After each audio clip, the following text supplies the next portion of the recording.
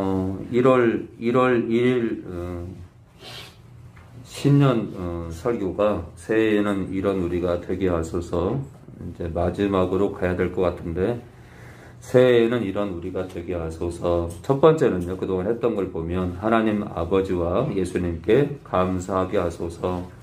두 번째는요 하나 되게 하소서. 맞죠? 하나 되게 하소서. 교회가 하나가 되겠죠 막 오합지졸로 어, 찢어지고 뭐 분열이 일어나고 어, 내 주장 네 주장 따지다 보면 교회는 정말 산으로 올라가죠. 세 번째는요 지혜를 가져 세월을 아끼게 하소서. 네 지혜를 예, 성령해 주시는 지혜를 가져야겠죠.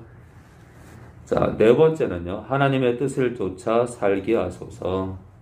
하나님의 뜻을 쫓아 살게 하소서. 그래서 이제 사실은 이제 그 이제 왜 많은 목회자들이 영적으로 병들고 귀신의 음성을 따라서 그 죽음의 길을 가냐면은 성령께로부터 성령께로부터 인도를 안 받는 거예요. 성령께로부터. 나름 뭐 나름 뭐 감동 내지 내적 감동이요. 감동 내적 감동. 내면에 들리는 소리 귀에 들리는 귀에 들리는 소리 어, 또는 느낌 어, 이런 걸로 어, 목회하는 분들이 있어요. 자기가 음성을 듣는다고 계시는데 어, 제 주변에는 어, 한 사람도 어, 저는 그런 사람을 사람을 본 적이 없어요. 너무나 위험하다. 그래서 이 성령의 이, 이 통치를 정말 잘 받아야 됩니다. 그런데 이제 성령의 통치를 받는 사람들의 특징이 하나 있어요. 겸손합니다. 겸손해요. 절대 나대지 않아요. 겸손합니다. 두 번째, 남 죽이려고 하지 않아요. 남 죽이는데 관심 없어요. 다섯 번째는 다섯 번째, 예수님 또는 아버지 하나님만 사랑하게 하소서를 받고요. 여섯 번째는 세상의 소망을 갖지 않게 하소서를 받습니다. 세상의 소망을 갖지 않게 하소서. 일곱 번째는요, 안식일, 주일이죠. 요즘 말하는 주일.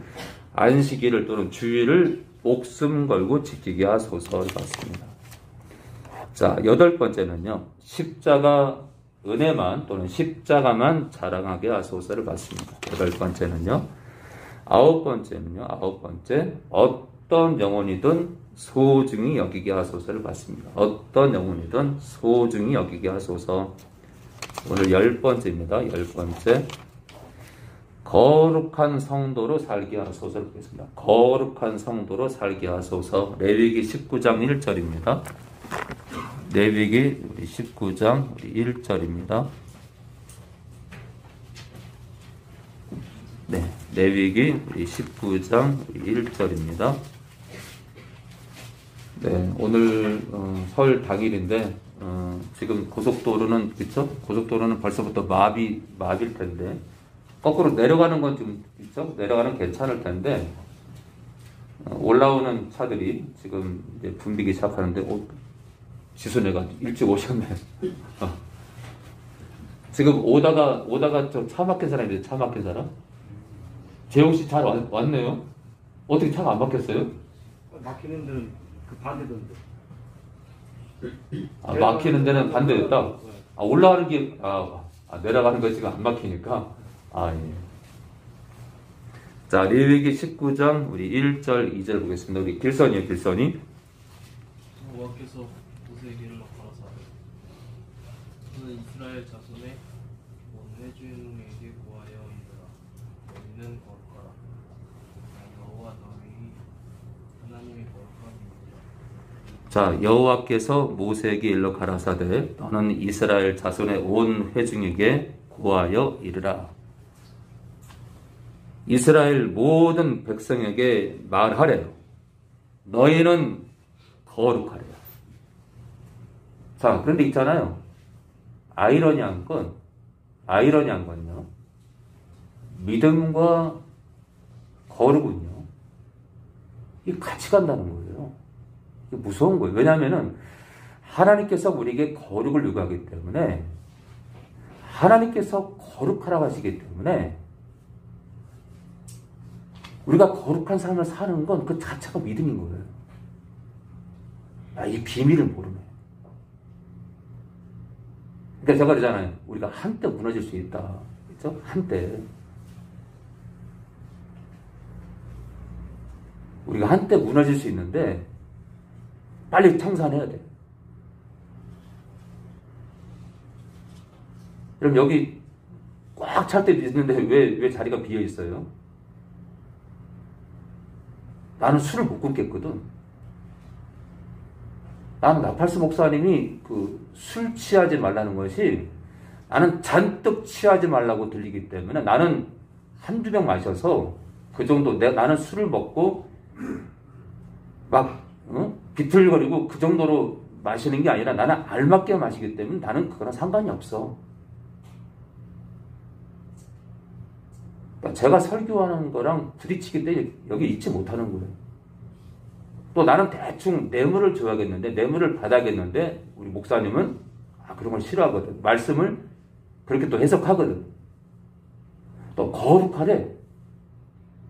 나는 대충 더럽고 싶은데. 때로는 더러운 마음도 있는데. 포르노도 보는데 아, 다 끊으래. 쉽지 않잖아. 그죠?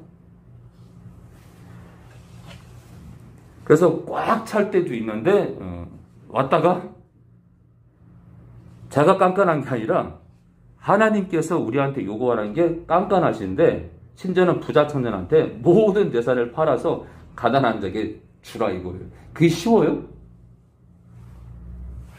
그게 쉽냐고. 여러분들 내가 부자인데 내 전 재산을 다 팔아서 가난한 자에게 주고 나를 따르래. 그게 쉽냐고요. 나의 모든 걸 다 내려놓으라는데 그게 쉽냐고. 그쵸? 자기 목숨도 미워하래요. 자기 목숨도 미워하래요. 어? 이, 그러니까 이 길이 쉽냐고요. 쉽지 않다니까. 그래서 이곳에 왔다가도 어, 떠나가는 자들이 많습니다. 자, 하나님께서 당신이 거룩하시기 때문에 우리에게도 거룩을 요구하는 거예요. 거룩 있잖아요. 그리스도인들이 거룩한 건 믿음, 믿음 자체입니다. 믿음 자체. 왜냐하면 하나님께서 요구하시는 거기 때문에 하나님께서 요구하시는 걸 우리가 행하는 건 믿음 자체다. 자, 일단 레기 19장에 하나님께서 거룩하시대요. 그러면 있잖아요. 여러분들 잘 봐야 돼요. 하나님께서 거룩하신데 이게 있잖아요. 하나님의 속성 가운데 사실 거의 첫 번째예요. 첫 번째, 두 번째가 뭐냐면 하나님은 영원하시다. 그리고 하나님은 거룩하시다. 그럼, 그러면 여러분 봐봐요. 거룩과 영혼을 거룩과 영혼을 함께 할 수 있는 존재가 누구냐면 천사들과 우리 영이에요. 우리들이에요. 우리들. 거룩함과 영원성을 가질 수 있는 건 하나님과 천사 우리밖에 없어요. 근데 이 거룩을 상실하게 되면 영원성을 잃어버릴 수 있어요. 그럼 거룩을 상실하는 게 뭐예요? 죄잖아요. 그럼 사단이 있잖아요. 사단이 사단이 에덴 동산에 아담 아담을 죽이기 위해서 뭘뭘 꾸밀 것 같아요? 거룩을 상실하게 하는 그게 뭐예요? 죄 짓는 거예요. 그래서 하나님의 명령이 뭐였죠? 선악과를 먹지 말라는 거였어요. 그리고 그걸 먹게 하면 죄 짓는 거예요. 그리고 심지어 하나님께서 그걸 먹으면 반드시 죽는다. 영원성을 상실하는 거예요. 그쵸? 그러니까 거룩과 죄 짓는 것과 영원성을 상실하는 게 연결됩니다. 그래서 사단이 에덴 동산에서 첫 번째 꾸민 계략이 우리의 거룩을 상실하게 하는 거다. 예? 그러니까 이 거룩과 이 거룩과 구원은요, 이 거룩과 구원을 따로 떼요? 그런 게 어딨어? 그건 하나님 모르는 거야.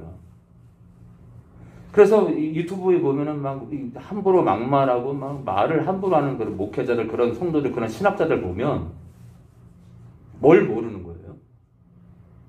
예수님을 모르고 성부를 모르는. 그러면 왜 모를까요? 성령을 모르는 거예요. 답은 성령을 모르는 거예요. 자, 우리 로마서 우리 5장 12절입니다. 로마서 우리 5장 12절입니다.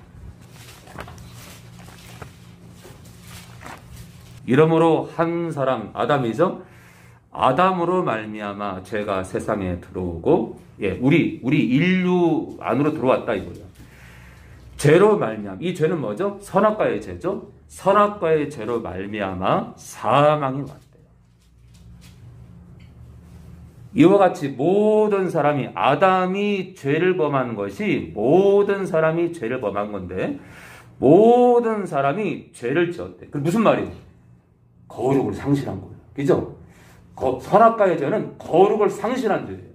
거룩을 잃어버린 거야. 우리가 하나님과 있잖아요. 우리가 하나님과 교제하려면 거룩해야 돼요. 근데 선악과의 죄는 거룩을 상실한 죄이기 때문에 하나님과의 교제권이 박탈돼 버리는 거예요. 이게 무서운 거예요. 그러니까 사단이 굉장히 교활한 거예요. 사단이 굉장히 비상한 거예요, 머리가. 어떻게 하면 인류를 죽일 수 있느냐? 죄 가운데 넘어뜨려서 거룩을 잃어, 거룩을, 거룩을. 그러니까, 저 만나기 전에 2판, 4판으로 살았던 사람들 참 복 있는 거야. 왜요? 많은 교회들이 이런 얘기를 안 하니까. 그죠? 이런 거룩 얘기를 안 하니까. 그 나라 들어가는 반일에 들어갈 수 있으니까, 그죠? 여러분들 찬송가 봐요, 찬송가. 찬송가 보면요. 죄를 이기는 얘기, 죄와 싸우는 얘기 진짜 많아요. 진짜 많아요. 옛날에는, 옛날 우리 믿음의 선배들은 이 죄와 싸우는 것을 찬양을 썼단 말이에요. 찬양을. 이 가사에다가.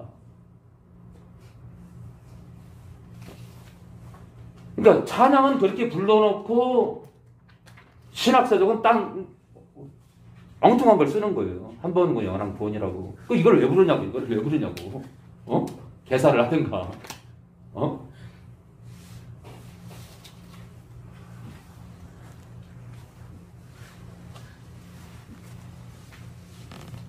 자, 로마서 우리 5장 12절 계속 봅니다.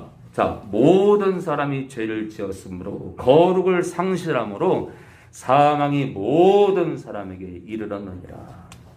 자, 거룩을 상실했대요. 거룩을. 자, 그럼 있잖아요. 예수님께 예수님께서 이 땅에 오셔서 하신 게 뭐냐면 그 거룩을 회복시키는 거예요. 거룩을 회복시키는 거예요. 어떤 거예요? 원죄를 박살내는 거예요. 원죄를 박살내야 원죄를 박살내야 하나님과의 교제권이 획득이 되고 회복이 되고 우리가 사는 거거든. 우리가 왜 살아요? 하나님은 생명 자체이기 때문에 생명 자체인 하나님과 우리가 기도할 수 있고 그분의 말씀을 들을 수 있어야 깨달을 수 있어야 우리가 사는 거거든. 근데 그, 그게 그, 그 통로가 뭐예요? 성령이에요, 성령. 성령의 가르침이 아니고 성령의 인도하심이 아니면 우리는 말씀을 깨달을 수 없다니까. 자, 우리가 말씀을 깨닫는 자체가 이게 하나님과의 교제인 거예요, 교제. 이게 교제야. 하나님의 마음을 내가 읽는 거예요. 이게 교제예요, 교제. 그런 있잖아요. 말씀을 엉뚱하게 가르치고 말씀을 잘못 깨닫게 하면 하나님과의 교제를 못하게 하는 거야. 그러니까 목사의 직책이 진짜 중요한 거죠. 그죠? 자, 우리 로마서 우리 3장 23절입니다. 로마서 우리 3장 23절입니다. 로마서 우리 3장 23절입니다. 모든 사람이 모든 인류가 죄를 범했대요. 거룩을 상실했다니까. 제가 있잖아요. 천국 들어가는 그 구원과 최종 구원과 거룩이 왜 관련되어 있느냐? 이, 게 에덴에서부터 이 거룩을 뺏어버렸거든요. 사단이. 그래서 거룩을 우리는 회복해야 되는 거예요. 거룩을. 근데 한 번 믿으면 끝났대. 그런 게 어딨어. 여러분, 한 번 믿으면 끝났다 그래서 그래서 막사로 그거는요 에덴 동산에서 선악과를 먹는 거랑 똑같은 거예요. 왜요? 육신의 삶이 삶이 육신의 삶이니까. 선악과가 무슨 죄예요? 육신의 삶이에요. 여러분 하나님 말씀을 어기는 게 뭐예요? 육신의 삶의 땅을 땅을 추구하는 거죠. 근데 거듭난 우리가 여전히 육신대로 살면 뭐예요? 또 선악과를 먹는 거예요. 그러니까 한 번 믿으면 그 나라 다 가요? 누가 그래? 그건 사단 정법이지.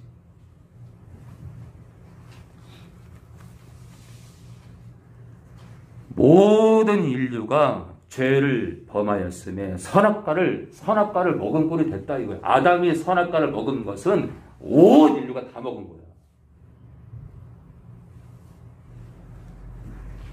하나님의 영광에 이르지 못하더니 무슨 말이냐? 하나님께 가까이 갈 수 없는 거야. 하나님과 교제가 안 되는. 교제가. 하나님과 교제가 안 되면 뭐예요? 생명이 끊어진 거야. 생명이. 그런데 그리스도 예수 안에 있는 구속 뭐예요?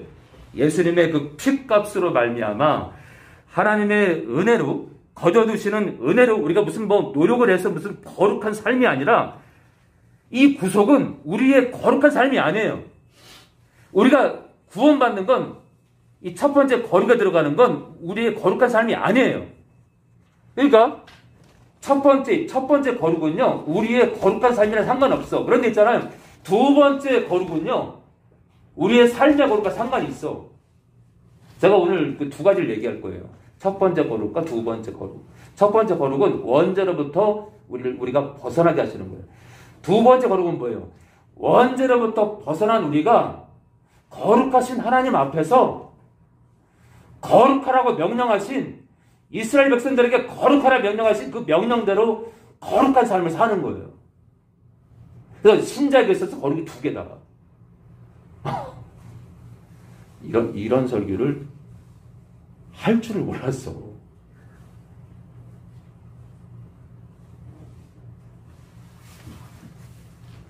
제가 2000, 2007년도인가 개척을 했는데 설교를 하는데요. 하루는 한 주는 한 번군에 관한 구원, 한 주는 아니다, 한 주는 기다, 한 주는 아니다. 그래서 제가 아, 큰일 났는데 이거 미쳤다 떨어졌는데 이거 도무지 모르겠는 거예요. 도무지. 그래서 제가 있잖아요. 그 개척 초기 때 정말 힘들 게 뭐냐면 힘든 게 뭐냐면 뭐냐면 설교가 너무 힘들어. 뭐 인터넷 설교를 베낀다고요? 그것도 양심이 있지. 너무 힘든 거에서 제가 속으로 와 목사님들 대단하다. 어떻게 이걸 매주 설교하지? 근데 웬걸 성령을 의지하면서부터요 이게 달라지는 거야. 어린아이가 바닥을 기다가 일어나잖아, 그죠? 일어나는 때가 있고 설교도 온전히 걸을 때가 있어. 저를 걷게 하시더라고. 자, 로마서 3장 23절입니다. 24절입니다. 그리스도 예수 안에 있는 구속, 예수님의 그 핏값으로 우리를 구원하심으로 말미암아 하나님의 은혜로 값없이 의롭다 하심을 얻은 자 되었느니라. 의롭게 됐다는 거예요. 의롭게 됐다. 의롭게 된 게 뭐예요? 의롭다가 뭐예요? 무음한 거예요. 무음한 거. 죄가 없는 거야. 다시 거룩한 상태로 돌리는 거예요. 가장 가장 가까운 뜻은 뭐예요? 선악과의 죄, 그 원죄 있잖아요. 원죄로부터 우리를 벗어나게 하시는 거예요. 원죄는 우리를 어떻게 해요?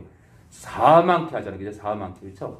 그러니까 우리가 사망에서 벗어나고 원죄로부터 벗어난다.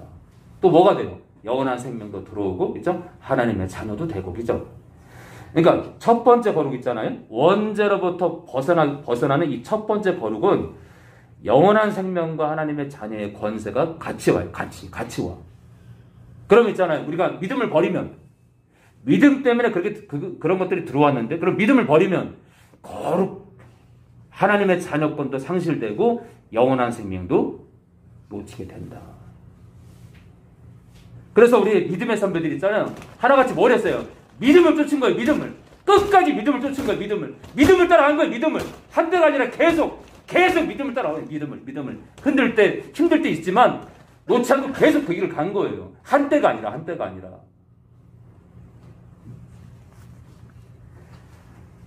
자, 우리 계속 보겠습니다. 자, 원죄, 원죄로부터 우리를, 어, 원죄로부터 우리를 벗어나게 하신 건 뭐라고 했죠, 아까? 첫 번째 거룩을 회복하는 거다. 첫 번째 거룩이요. 그러니까 예수님께서 십자가에서 피 흘려 죽으심으로 첫 번째 거룩, 한마디로 원죄로부터 벗어나게 하신다. 이 첫 번째 거룩은요, 하나님께, 이제 하나님께 나아갈 수 있는 길을 여는 거예요. 하나님과 교제할 수 있는 길을 연 거예요. 하나님과 교제할 수 있는 길을 연. 그러니까 한마디로 에덴 동산으로 복귀를 시킨 거예요. 한마디로. 영, 영적 에덴 동산으로 다시 돌아가는 거예요. 자, 로마서 우리 8장 1절 2절입니다. 로마서 8장 우리 1절 2절입니다.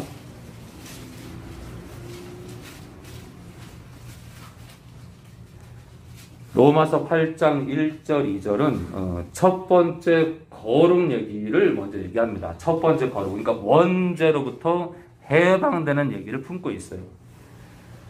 그러므로 이제 그리스도 예수 안에 있는 자, 그 피를 그 피값으로 구원받은 자에게는 결코 정죄함이 없느니 뭐로부터요? 원죄로부터 정죄받을 수 없다. 여전히 사단이 너는 내 거다라고 할 수 없다는 거예요. 이해되죠?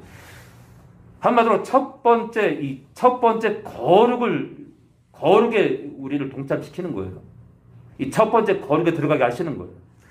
이는 그리스도 예수 안에 있는 한마디로 그 피값으로 피값으로 인해서 생명의 성령의 법이 성령이 우리 안에 들어오시는 그 역사가 일어나는데 그분의 역사가 그분이 우리 안에 들어오시는 그 역사가 그 법이 그 통치가 죄와 사망의 법에서 여기서 로마서 8장 2절에 이 죄와 사망의 법은 첫 번째로 원죄를 말해요. 원죄.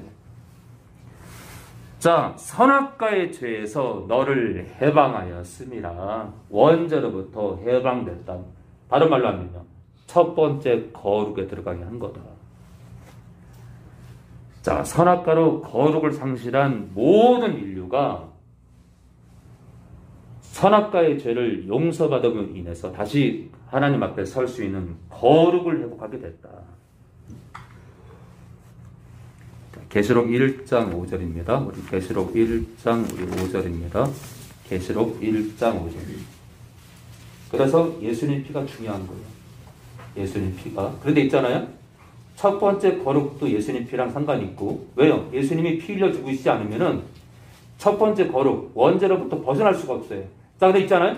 두 번째 거룩도 예수님 피랑 상관이 있어요. 왜요? 성령을 의지해서 싸우다가 우리가 연약하니까 넘어질 수 있잖아요. 그럼 무슨 연고를 발라야 돼? 예수님의 피의 연고를 발라야 되는 거예요. 예수님 피를 예수님의 피로 씻음 받을 수 있는 거예요. 회개함으로 예수님 피를 의지해서 회개함으로 우리가 지은 죄를 또 해결할 수 있는 거예요. 그렇죠? 그러니까 첫 번째 거룩과 두 번째 거룩은 둘 다 예수님 피가 반드시 필요하다. 그러니 십자가를 자랑할 수밖에 없는 거죠. 우리가 아무리 성령을 의지해도 넘어지거든. 그렇죠? 짜잔하게 넘어지잖아요. 짜잔하게 그렇죠? 짜잔하게 넘어지잖아요. 순간순간 분이 올라오잖아요. 순간순간. 자, 우리 계속 보겠습니다. 계시록 우리 1장 5절에 우리 재홍 씨요, 재홍 씨. 또 충성된 증인으로 죽은 자들 가운데서 먼저 나시고 땅의 임금들의 머리가 되신 예수 그리스도로 말미암아 은혜와 평강이 너희에게 있기를 원하노라. 우리를 사랑하사 그의 피로 우리 죄에서 우리를 해방하시고 자, 예수님의 피로 우리 우리 인류의 죄에서 우리를 해방하셨대. 우리 죄에서 해방했대. 이 원죄입니다. 원죄로부터 해방하는 거예요. 첫 번째 거룩입니다. 첫 번째 거룩. 하나님 앞에 설 수 있도록 첫 번째 거룩을 해결하신 거예요. 다시 에덴으로 돌, 돌이키신 거예요. 그럼 자 영적으로 영적인 에덴으로 돌아왔는데 육신대로 살면 돼요? 자, 우리 고린도 후서 우리 5장 우리 21절입니다. 고린도 후서 우리 5장 우리 21절입니다. 고린도 후서 5장 21절입니다. 고린도 후서 우리 5장 21절입니다.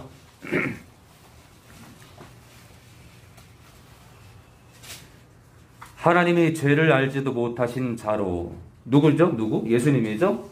예수님으로 우리를 대신하여 죄를 삼으신 것은 그러니까 인류의 죄를 예수님이 짊어지신 거예요. 죄를 삼으신 것은 근데 예수님께서 어떤 존재라고요? 죄를 알지도 못한다. 야, 온 우주에 이런 존재가 있다니. 하기야 뭐 그렇게 무음하시니까 이 어마 어마 어마한 우주 공간을 만드셨겠죠. 그분은 능력이 정말 한이 없는 것 같아요. 이 우주 공간을 보면 예수님의 그 능력과 그 권능과 아버지 하나님의 그 권능과 성령의 권능을 우리가 가늠할 수 있잖아요. 너무 크잖아. 우주가 너무 크잖아. 그죠? 이것도 우리 한계성 안에서 만드신 거야. 근데 우리 한계성 안에서 만드셨는데 너무 커. 너무 광활해. 야.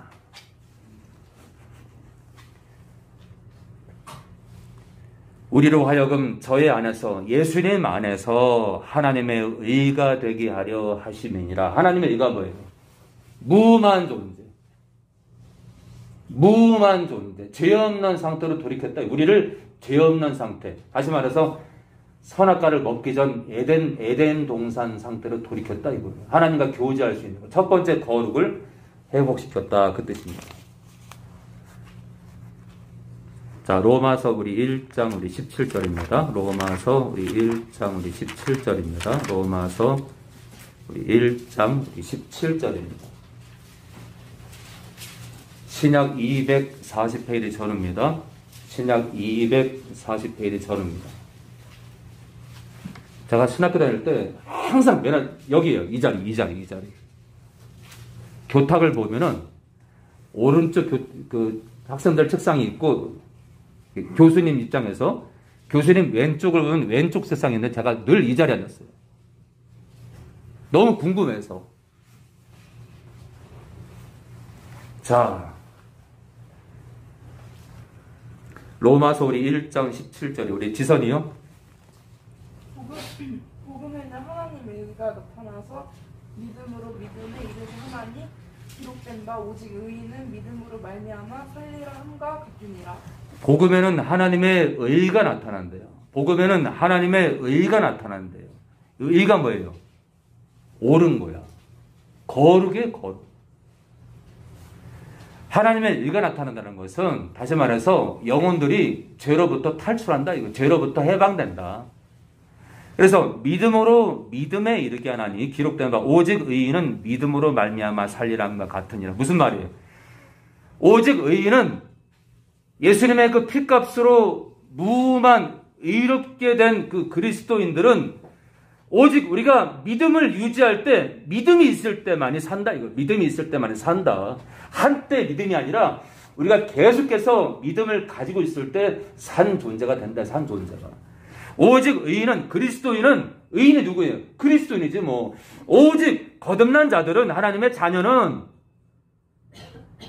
믿음으로 말미암아 살리라. 한때 믿음이 아니라 계속해서 믿음을 가지고 사, 걸어갈 때 산다. 산 존재가 된다. 오늘 있잖아요. 첫 번째 거리, 예수님 피로 첫 번째 거리가 들어왔는데 하나님 말씀이 그런데 조건이 있대요. 내가 첫 번째 거룩을 회복시켰는데 나를 향한 믿음을 갖고 있으라 이거예요. 그래야 영원한 생명과 하나님의 자녀의 권세도 잃어버리지 않는다 이거. 믿음을 놔버리면요. 다 끝나는 거지 뭐 다. 다. 다 끝나는 거지 뭐. 여러분들 열쇠 없으면 집에 들어가요? 여러분들 왜 열쇠 들고 다녀요? 이거로 열면 우리 집이 열린다는 믿음으로 열쇠를 갖고 다니잖아요. 만약에 내 주머니에 있는 열쇠가 문이 안 열리는 열쇠야. 들고 다닙니까? 갖다 버리지? 우리, 우리의 삶을 보면 믿음으로 연결되어 있어요. 믿음으로. 왜 배우자랑 살아요? 믿으니까. 왜 저희 아이들이 저, 저랑 같이 살아요? 믿으니까. 아침에 밥을 주는데, 벌써 봐. 여기다 독는 거 아니야? 그래서 막 냉장고, 냉장고 음식을 꺼내, 어? 혹시 이거 독든 거 아니야? 어? 엄마가 독 넣지 않았을까? 그러면 먹어야 못, 먹, 못 먹잖아요. 근데 왜 먹어요, 편하게? 당연히 안, 넣, 안 넣으실 걸 믿으니까, 그죠? 자, 버스를 왜 타요? 오늘도 저 기사가 졸지 않고 운전할 걸 믿기 때문에 가는, 근데 예를 들어 가는 도중에 졸아요. 주무셔. 그 여러분들 계속 타고 가요? 계속, 어, 저러면 안 되는데? 그래서 믿음이 흔들리니까, 어, 깨워야 되나? 말아야 돼? 어, 그, 어, 그 브레이크, 어, 어떡하지? 그럼 어떻게 해요? 계속 뭐라고 했는데도 오히려 역정을 내면. 내려야지 뭐. 그쵸? 내 생명을 위해서 내려야지. 내릴 때는 뭐예요? 못 믿는 거지 뭐.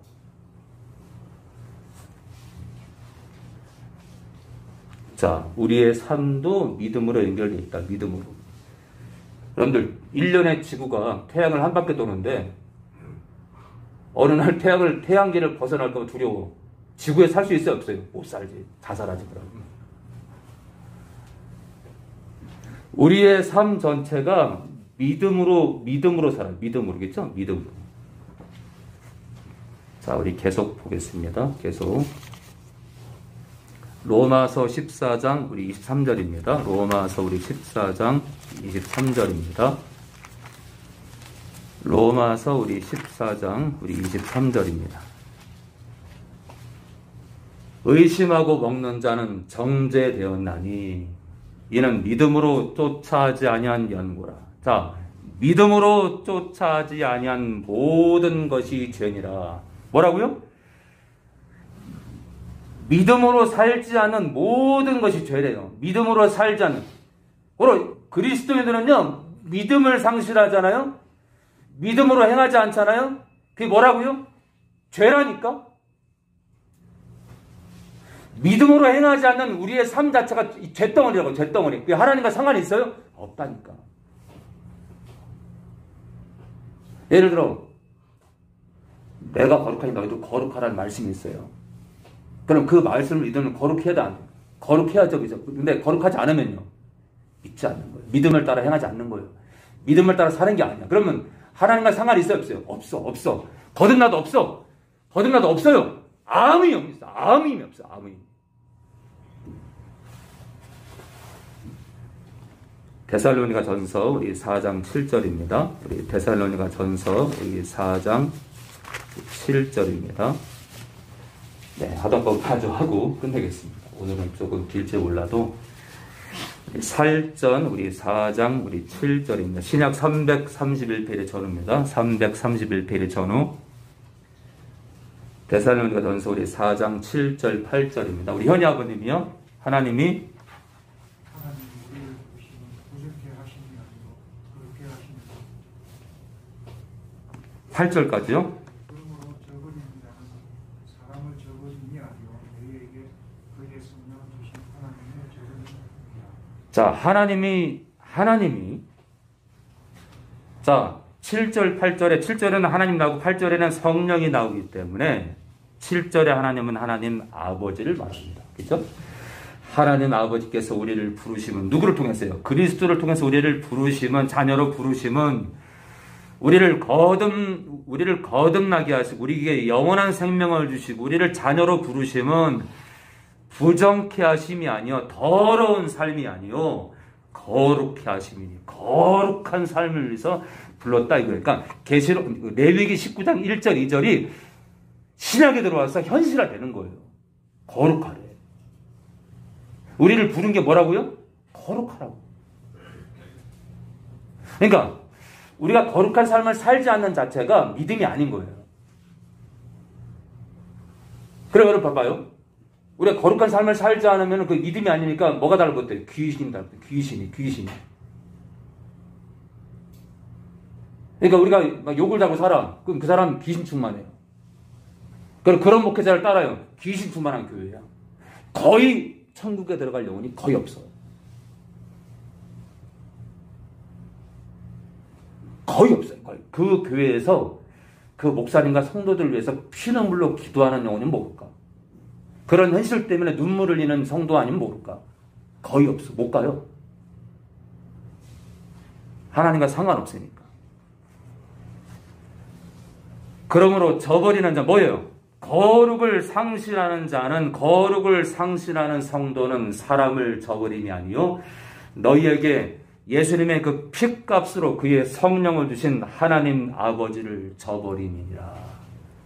지금 데살로니가 교회 성도들한테 너희가 거룩을 상실하지 너희는 하나님을 버리는 거야 하나님 아버지를 하나님 아버지와 상관없는 자가 되는 거야 에덴 동산에서 선악과를 먹은 아담과 똑같은 꼴이 되는 거라고 지금 경고하는 거 경고하는 거예요. 제가 전하는 이 메시지가 맞아요. 이 땅에 더러 많은 목사들이 전하는 목사님들이 전하는 메시지가 맞아요. 제가 맞지. 아, 하나님 말씀이 그대로인데 뭘? 히브리서 12장 우리 1절입니다. 우리 히브리서 12장 우리 14절 볼까요? 히브리서 12장 우리 14절입니다. 자, 첫 번째 거룩을 끝내고 이 믿음으로 쫓아야지 하는 모든 것이 죄라는 이 로마서 14장을 이제 건너뛰어서 살전 4장 7절 8절부터는 두 번째 거룩을 얘기합니다. 두 번째 거룩. 삶 가운데 거룩이에요. 삶 가운데 거룩. 우리가 거듭난 첫 번째 거룩을 사- 어, 회복한 다음에 두 번째 거룩, 삶의 주님과 동행하면서 삶의 거룩을 행해야 되는데 이 거룩을 행하지 않으면은 하나님과 상관이 없다. 우리 히브리서 12장 14절입니다. 우리 민식 형님이에요. 민식 형님. 예, 모든 사람으로 더불어 화평함과 거룩함을 쫓아라. 이것이 없이는 아무도 주를 보지 못하리라. 떡국을 못 먹어서 목소리가 크지 못합니다. 우리 민식 형님 저 아침 안 드셨죠? 그래 안 먹고 왔어. 어쩐지 오늘 보통은 좀 칼칼하신데 오늘 좀 힘이 없어 보입니다. 좀 이따 떡국 세 그릇 드세요. 세 그릇.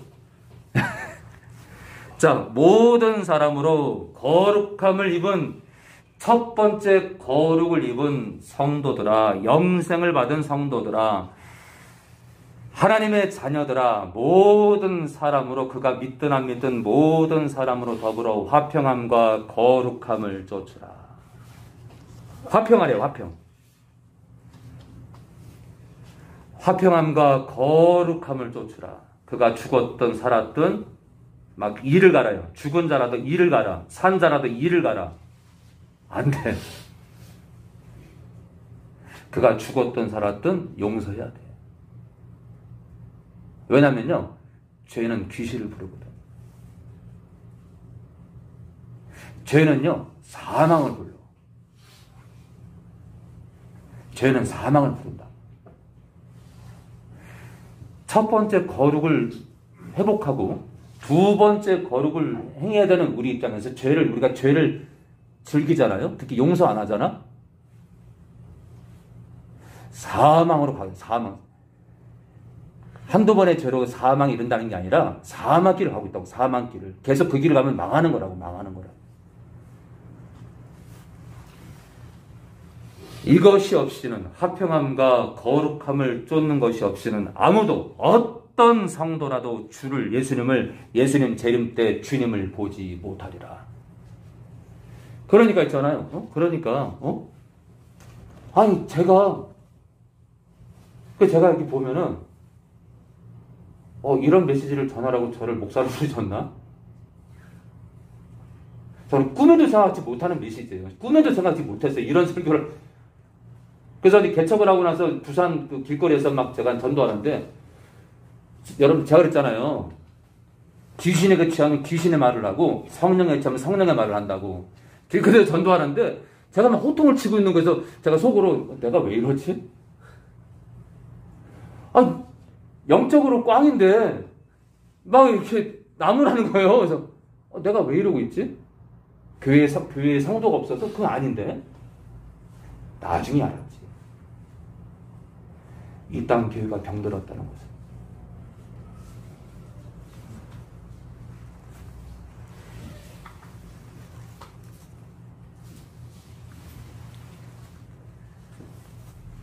자, 우리 이제 마지막. 마지막으로 로마서 8장 1절 2절을 다시 보겠습니다. 다시 로마서 우리 8장 1절 2절을 다시 보겠습니다. 그러므로 이제 그리스도 예수 안에 있는 자에는 결코 정죄함이 없나니. 자, 그랬죠? 원죄로부터 해방시켰기 때문에 원죄에 대해서 태클 걸 수 없다. 사단이죠? 주님의 피값으로 원죄에서 벗어났기 때문에 그러니까 첫 번째 거룩에 들어왔기 때문에 이 원죄에 대해서 태클을 걸 수 없다. 이게 첫 번째 거룩이에요. 근데 이 정잠이 없는 게 두 번째 정잠이 없는 게 있어요. 뭐냐면은 예수님 피는 우리가 두 번째 거룩을 삶 가운데 주님과 동행하면서 두 번째 거룩을 행할 때 넘어질 수 있잖아요. 그때 우리가 어떻게 해요? 예수님 피를 의지해서 씻다 보니까 예수님 피를 위해서 피를 의지해서 씻다 보니까 두 번째 태클도 못 끄는 거예요. 원죄에 대해서 정죄도 못하고 신앙길을 가다가 넘어진 두 번째 거룩을 행하다가 이 자빠진 이 죄, 죄조차도 예수님 피로 회개하다 보니까 또 태클을 못 끄는 거예요. 이는 그리스도 예수 안에 있는 생명의 성령의 법이 성령의 역사가 우리 삶 가운데 그리스도인의 삶 가운데 성령의 도우심과 역사가 삶 가운데 다가오는 죄와 사망의 법에서 우리를 해방합니다. 그죠? 어떻게 해요? 성령의 도우심이겠죠? 진짜 있잖아요. 어떤 면에서는, 어떤 면에서는 이 두 번째 거룩을 행함에 있어서 그리스도인들에게 두 번째 거룩을 행함에 있어서 절대적인 전권을 가진 게 성령님이에요. 사실 첫 번째 거룩, 거룩에 있어서 성령의 역사는 단순하세요. 왜요? 그건 은혜거든. 믿기만 하면 들어오시거든. 근데 두 번째 역사는요. 두 번째 역사 우리가 있잖아요. 첫 번째 거룩에 들어갈 때는 그 연합을 위해서 애쓰는 게 아니에요. 거저 들어오시는 거예요. 들어오시면서부터 연합이 시작되는 거예요. 들어오시기 전부터 연합을 하는 게 아니에요. 들어 첫 번째 거룩에 동참했을 때, 첫 번째 거룩에 들어갈 때 들어오셔서 드디어 연합에 들어가는 거예요. 근데 이 두 번째 거룩을 행할 때 절대적인 전권이 성령의 역사예요. 이분의 도움 없이는 거룩할 수가 없어요. 그래서 이 8장 2절에 이 죄와 사망의 법은 첫 번째는요, 원죄의 법이고 두 번째는 삶 가운데 다가오는 이 죄의 법이야. 또 죄의 법은 또 사망의 법이니까, 그렇죠? 자, 우리 갈라디아서 우리 5장 16절 보고 마치겠습니다. 예, 오늘 여정이 길었네요. 우리 갈라디아서 우리 5장 16절입니다.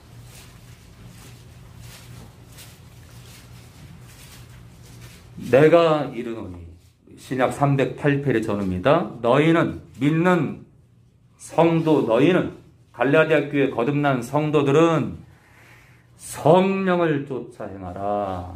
그분과 걸어가라. 그분과 연합해라. 그분과 동행해라.